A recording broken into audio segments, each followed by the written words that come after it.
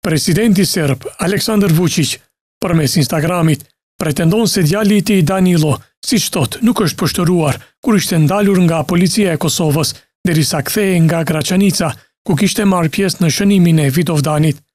Sipas Vuçiqit, jo larg Podujevës, policia e Kosovës kishte kërkuar që Danilo të heqë bluzën me mbishkrimin Dorëzimi nuk është opsion. Danilo nuk është pajtuar, kurse më pas ia kanë drejtuar armët dhe e kanë pyetur, emri i babait, ai është përgjigjur, Aleksandar, ky është babai im dhe presidenti juaj, nuk ia hoqën bluzën, nuk ia njollosën fytyrën, dorëzimi nuk është opsion, ka shkruar Vuçiq në Instagram.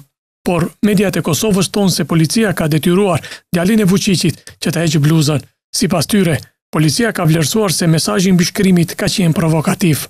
Ndryshe, në ceremoninë e Vidovdanit që këtë vit, për shkaqe sigurie ishte zhvendosur nga Gazimestani në Graçanicë, i pranishëm ka qenë edhe i biri i Aleksandar Vuçiqit, Danilo.